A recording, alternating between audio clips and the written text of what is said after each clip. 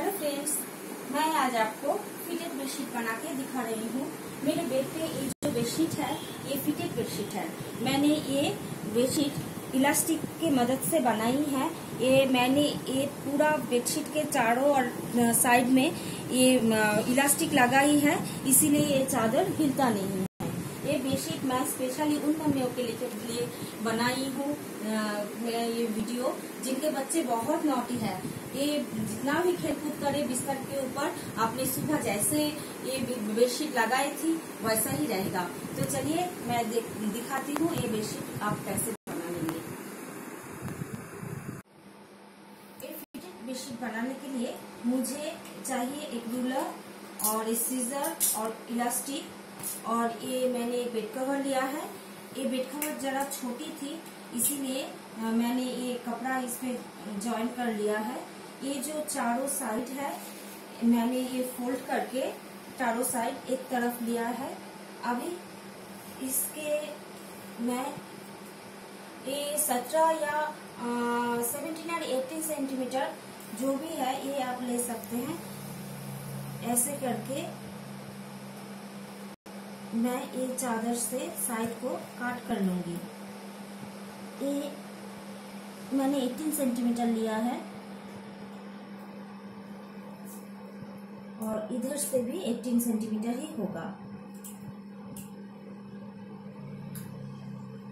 इधर से भी 18 सेंटीमीटर और इधर से भी 18 सेंटीमीटर लेके एक काट कर लेते हैं हम। लोग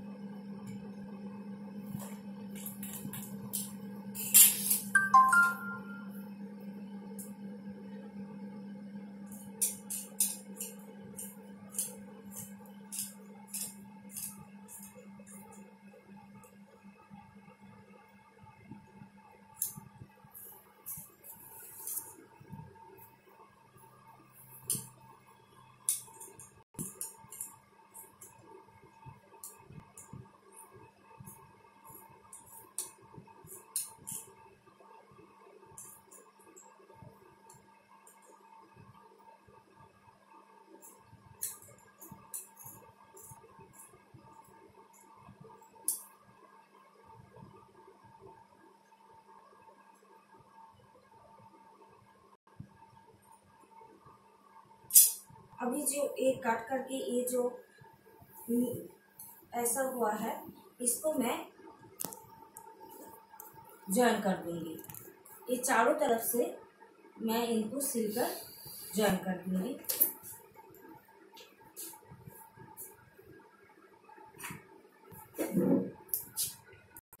देखिए, ये मैंने ये चारों तरफ़ का जो कॉर्नर निकल आए थे, उसको मैंने ऐसे सील दिया।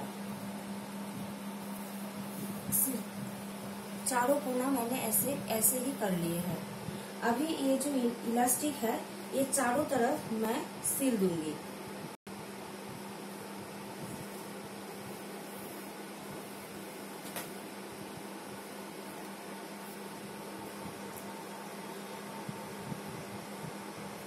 ये इलास्टिक आप ज़ोर से खींच के लगाइएगा तो ये टाइट टाइट हो जाएगा।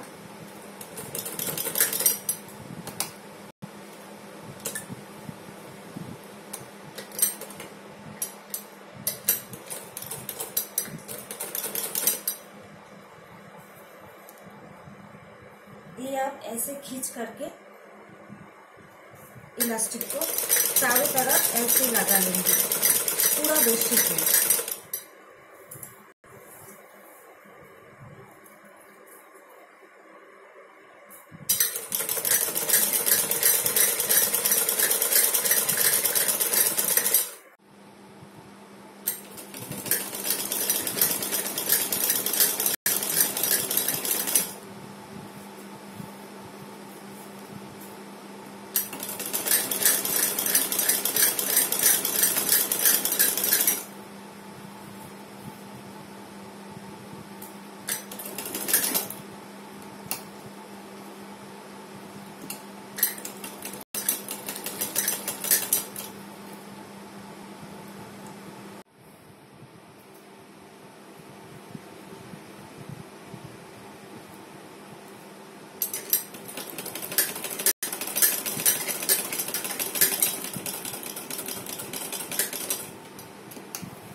में मेरा कंप्लीट हो गया है पूरा बेड के सेट के चारों धारों मैंने,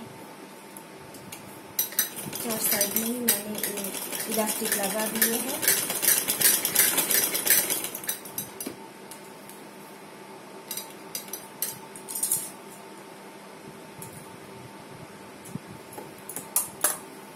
देखिए, ऐसे करके मैंने ये पूरा बेड कवर में ये लगा दिया है इलास्टिक अब मैं इसको मैट्रेस के अंदर फिट करके दिखा रही हूँ आपको। मैं अभी ये बेडशीट मैट्रेस के मैट्रेस में फिट करके दिखा रही हूँ। ये जो मैंने सिलाई किए थे ये कोना ये कोने कोने में ये डाल देंगे।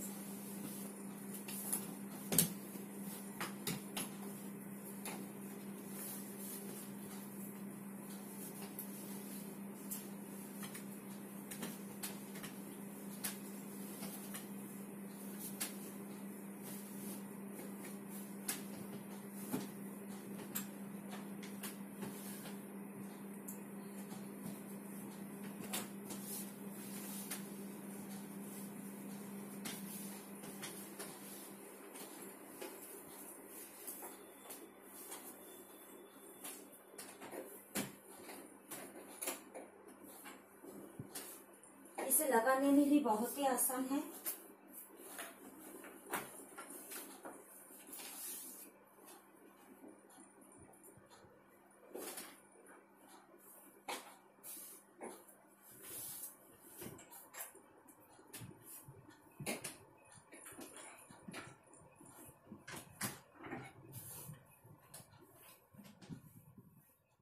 देखिए ये बेडशीट कितना अच्छी तरह ये मैट्रेस में फिट हो गया है तो अगर ये बेडशीट आपको अच्छे लगे और कोई काम में आए तो मुझे कमेंट कीजिएगा और मेरी वीडियो को आप लाइक और दोस्तों के साथ शेयर कीजिएगा और मेरे चैनल को ज़रूर सब्सक्राइब कीजिएगा। Thank you